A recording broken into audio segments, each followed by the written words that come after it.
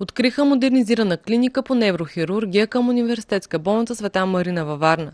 За обновяването на клиниката лечебното заведение е вложило собствени средства в размер на 570 хиляди лева.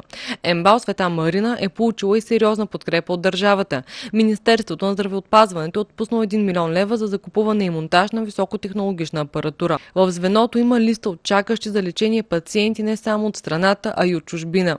Покриваме цялата гама неврохирургични заболявания, включително и дълбока мозъчна стимулация. Екипа ни от лекари разполагаме с а, а, трима специализанти, един от които е на специализация в Германия и а, 8 лекари специалисти. А, така, определено сестрите са а, така, другата ценна част от нашия екип. Винаги има така, възможност за нови попълнения.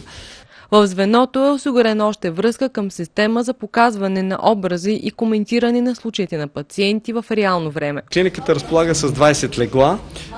В капацитета не е, броят на леглата не определя качеството на една клиника.